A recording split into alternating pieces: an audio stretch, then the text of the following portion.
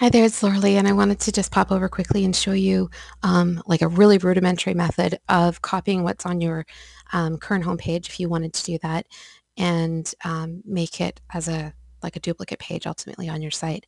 So I'm going to just I just right clicked on my on my mouse and I'm choosing page view page source and um, it's it should be the same in Firefox or anything else, but I'm using Google Chrome, and it pulls up the full HTML version of your of your site. So like absolutely everything in the code.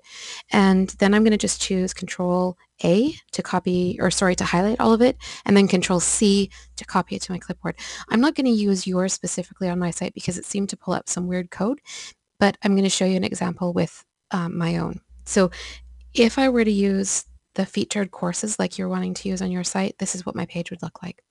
It's a little bit bland, but I'm going to repeat the process I was just showing you. So view page source, and then control A to select everything, control C to copy everything, and then I'll come over to my pages section in the dashboard of Teachable, click new page, and then I'm going to choose the blank template option so that we're not having any of the footer, uh, header and footer. I'm going to just do a I'm just going to put test three, paste all of the um, code that was on my clipboard and click save page. And then um, I'll just go into preview it and you can see what it looks like. So this new test three page uh, looks exactly the same. So if you ultimately, if you wanted to change some of something that's on the page, you would, um, you know, need to go in there and fiddle around with the code.